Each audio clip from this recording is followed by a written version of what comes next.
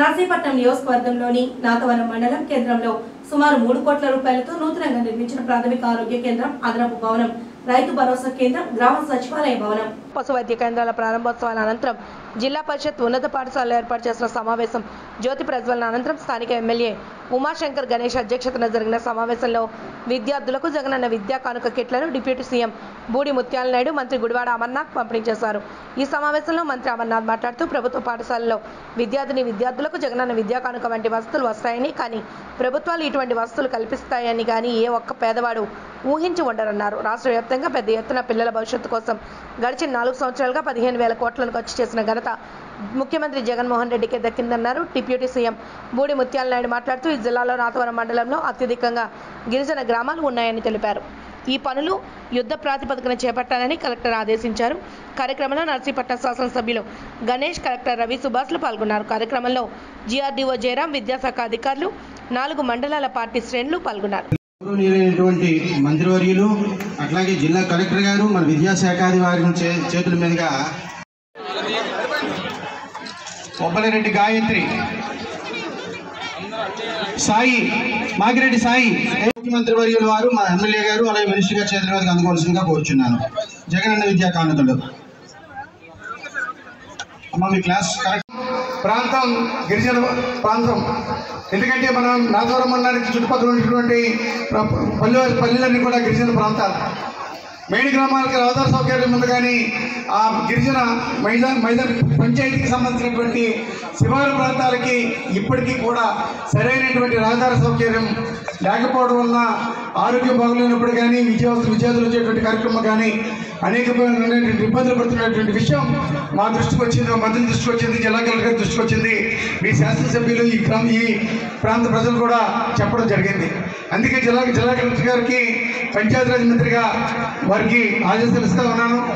ఏ ఏ గిరిజన ప్రాంతాలు ఉన్నాయో ఆ గిరిజన ప్రాంతాలు ఉన్నటువంటి మరి సుమారు ఆవాస ప్రాంతాలు ఉన్నాయో ఆ ఆవాస ప్రాంతాలన్నింటికి కూడా కనీసం గ్రావెల్ రోడ్డు వేసేదానికి అత్యవసర నిధులు మంజూరు చేయాలి. ఆ నిధులు కూడా నెల రోజులుగానే నెల రోజుల లోపుగానే మంజూరు చేసి ఇప్పుడే పనులు ప్రారంభించే విధంగా చర్యలు చేపట్టాలని చెప్పి మరి మీ అందరి తరఫున కూడా కలెక్టర్ గారికి ఆదేశాలు ఇవ్వడం జరుగుతుంది.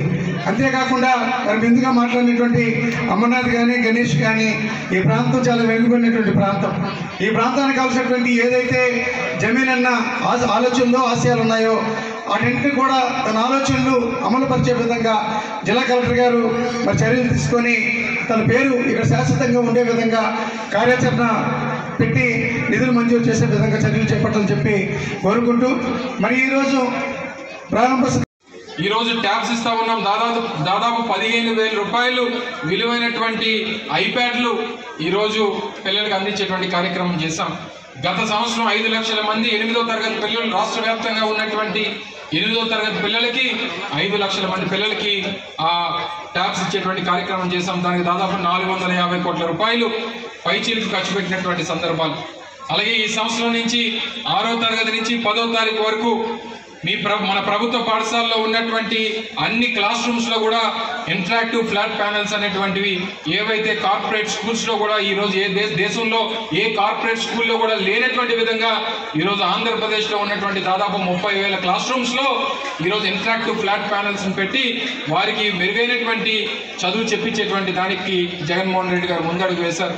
చదువుకోవాలన్నా లేదా ఉన్నతమైనటువంటి ఉద్యోగాల కోసం కావాలన్నా ఈరోజు టోఫెల్ జిఆర్ఈ లాంటి పరీక్షలు రాసి ఇతర దేశాలకు వెళ్ళి చదువుకోవాలన్నటువంటి దానికి కింద స్థాయి నుంచి అంటే ప్రైమరీ క్లాసెస్ నుంచి అంటే మూడో తరగతి నుంచి కానీ లేదా తర్వాత ఆరో తరగతి నుంచి పదో తరగతి వరకు కానీ కావాల్సినటువంటి సర్టిఫికేషన్ కోర్సెస్ కూడా ఈ సంవత్సరం నుంచి ప్రభుత్వ పాఠశాలలో అమలు చేసేటువంటి కార్యక్రమాన్ని చేయబోతా ఉన్నాం.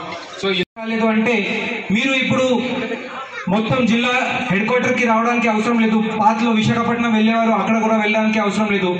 జస్ట్ వన్ నైన్ జీరో టూకి ఫోన్ చేస్తే చాలా లేదంటే మన సచివాలయానికి చెప్తే చాలా. మేము అది రిజాల్వ్ చేయడానికి ప్రయత్నిస్తాము. కానీ మన ప్రయత్నం అంటే ప్రభుత్వం పెట్టే ప్రతి ఒక్క కార్యక్రమం చదువు గురించి విద్య గురించి అదేవిధంగా హెల్త్ సెక్టర్ గురించి మీ వరకు అందాలి అని మేము ఈ డీసెంట్రలైజ్ అడ్మినిస్ట్రేషన్ ద్వారా ప్రయత్నిస్తూ ఉంటాము.